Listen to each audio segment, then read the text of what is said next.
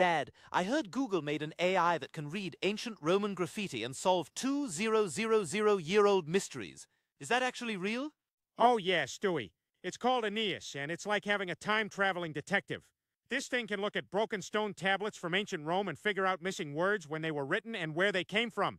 But how does it solve historical mysteries that even expert historians can't figure out? Well, they trained it on a 176,000 Latin inscriptions. That's like feeding it every piece of Roman graffiti, love poem, and beware of dog sign from 2,000 years ago. When historians have been arguing about when Emperor Augustus wrote something, this AI actually gave two possible dates that matched exactly what the experts have been debating for decades.